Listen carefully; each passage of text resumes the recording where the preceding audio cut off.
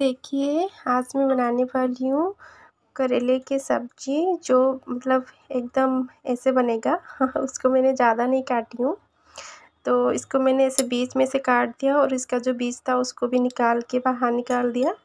इसके बाद इसको मैं उबालने के लिए प्रेशर में दूँगी। मैं इसको प्रेशर में दे दिया ऐसे ही ऐसे ही काट के एक कप पानी मिलाऊँगी, ज़्यादा नहीं। एक कप पानी इस अभी मैं हाई फ्लेम में इसको उबालूँगी, थोड़ा नमक डाल के। देखिए, इतना सा नमक डाला है, ज़्यादा नहीं, क्योंकि हम उसके अंदर जो स्टफिंग देंगे ना मसाले के तो उसमें भी नमक जाएगा।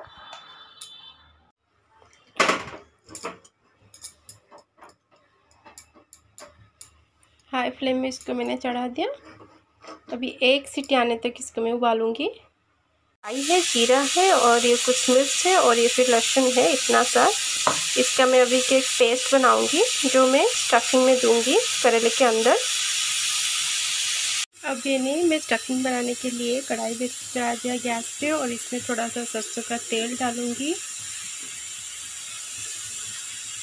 अच्छे से गर्म हो चुका था, इसलिए मैंने थोड़ा सा जीरा डाल दिया।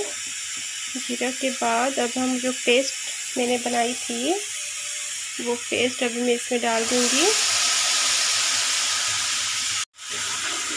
इसको हमें ज़्यादा नहीं पकाना है। इसको ज़्यादा पकाऊँगी तो फिर उसका टेस्ट जो है वो बिगड़ जाएगा मतलब ख़राब लगेगा।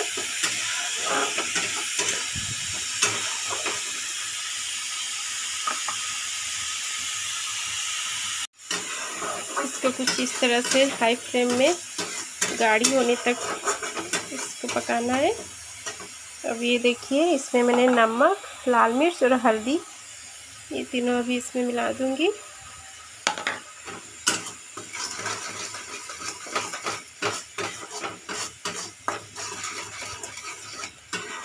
देखिए, करेला भी अच्छे तरह से पक गया है। इतना ही पकाना है, ज़्यादा नहीं।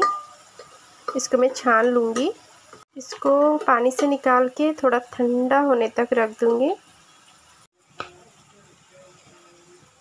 ये मसाला भी हो गया है ऑलमोस्ट इसको बस इतना ही। अभी मैं इसे भी बंद कर दूँगी और कुछ समय तक छोड़ देंगे, ऐसे ही ठंडा होने के लिए, क्योंकि इसको हम करेले के अंदर स्टफिंग देना है। जो स्टफिंग हमने बनाई थी ये देखिए जो स्टफिंग मैंने बनाई थी इसको मैंने करेले के अंदर अच्छे अच्छे से इसके अंदर डाल दिया।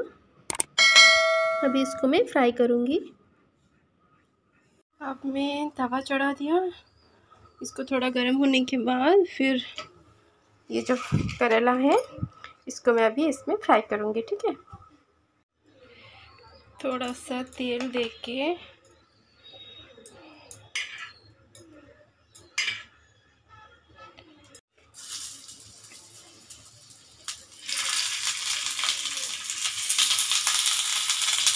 कुछ इस तरह से मैं इसको फ्राई कर दूँगी।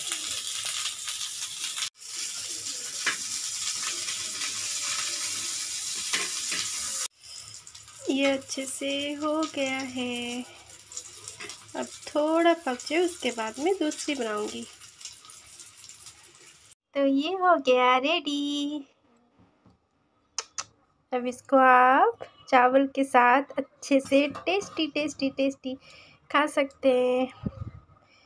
तो अगर आपको मेरी रेसिपी अच्छा लगे तो प्लीज़ मेरे चैनल को लाइक कर दीजिएगा सब्सक्राइब कर दीजिएगा। please please please. Tata.